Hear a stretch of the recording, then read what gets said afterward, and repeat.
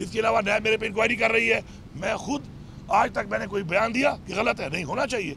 मेरी होनी चाहिए इंक्वायरी लेकिन मैं ये ज़रूर पूछता हूँ कि मेरी इंक्वायरी जो आपने की और आपको जो दस्तावेजात है डी खान से जो जो जगह पे आपने मांगे चेयरमैन नैब साहब, उसमें 5300 कनाल ऑफ़ लैंड 2010 से लेके अब तक मैं हुकूमत में रहकर मिनिस्टर रह के बेच चुका हूँ।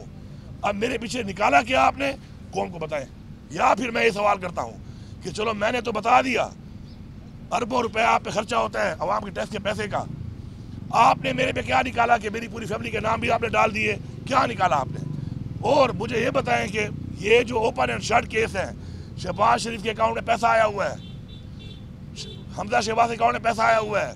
जरदारी के अकाउंट में पैसा आया हुआ है। आज ये लोग आपसे जमानत लेकर इस मुल्क का कोई वजी बना हुआ है, कोई वजी बना हुआ था। तो ये बताएँ कि वहाँ पे आपके इंतजाब कहाँ हैं? एक ओपन एंड शर्ट केस में।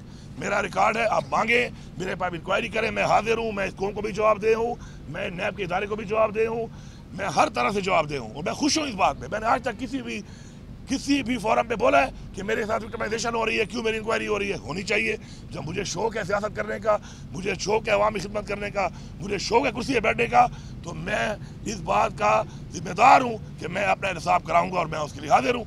लेकिन ये इंसाफ सबका भी ऐसा होना चाहिए अब दिखाओ ना कौन को बताओ ना कि डिप्टी कमिश्नर ने तुम्हें क्या लिखा है कि अपने दादे परदादे की पिछले तेरह सालों में फिफ्टी थ्री हंड्रेड कनाल ज़मीन तो मैंने बेची है और अगर मैंने ली है तो चेयरमैन साहब आपको अरबों रुपया मिलता है।